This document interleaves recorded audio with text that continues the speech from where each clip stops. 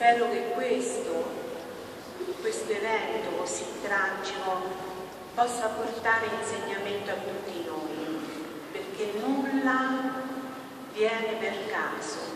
perché il Signore ha un disegno anche nella nostra famiglia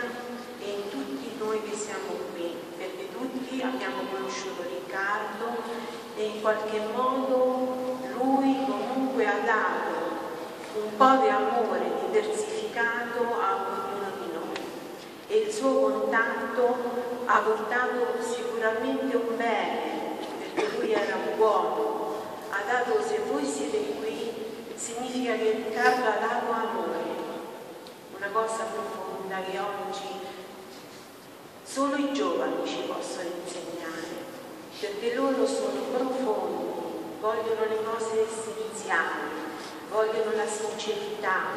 vogliono la lealtà, vogliono tutti quei valori che oggi invece noi adulti non gli sappiamo forse dare. Allora, se mio figlio è riuscito a radunare tutta questa gente, significa che lui ha dato tanto amore. E questo amore oggi noi dobbiamo impegnarci a diffonderlo il pezzo di amore che lui ha dato, noi lo dobbiamo ridare. È in questo modo che così tanti che siamo possiamo cambiare un pochino la città di Terni e piano piano si può cambiare anche tutto il mondo, perché a tutti non piace questo mondo, vorremmo tutti un mondo migliore,